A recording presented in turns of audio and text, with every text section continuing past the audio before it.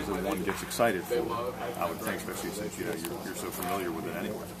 Uh, absolutely. I mean, um, you know, it's uh, one of the biggest rivalries in college sports. Period. Um, but uh, it's going to be a good time, man. We're just looking forward to uh, you know going down there and um, you know giving them our best shot. Yeah, it's interesting for both you and for them.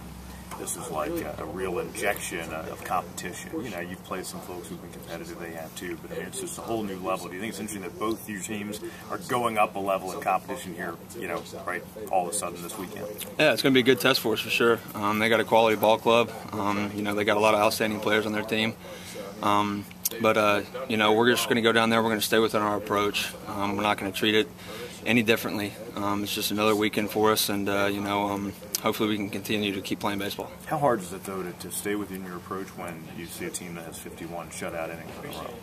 Um, we're just gonna, you know, keep doing what we're doing. Um, you know, we're gonna we're gonna stay within ourselves. Um, obviously, they've got some quality arms. Um, you know, but uh, we're just gonna see the ball and try to put a good barrel on it.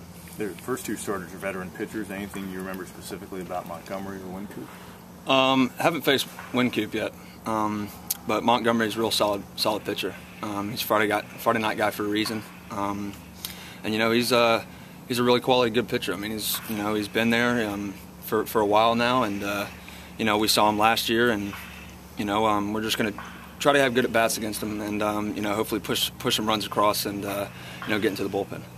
I just ask Garrett, is there a little bit more intensity with these games than maybe even ACC games or ACC tournament games?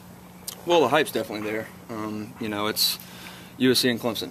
Um, you know, it's a big time rivalry, but uh, you know, then again, we're not going to treat it as uh, you know any other any other weekend. You know, it's just it's um, you know we're just going to go out there, we're going to play uh, Clemson baseball, and um, hopefully come out with uh, a couple wins. For the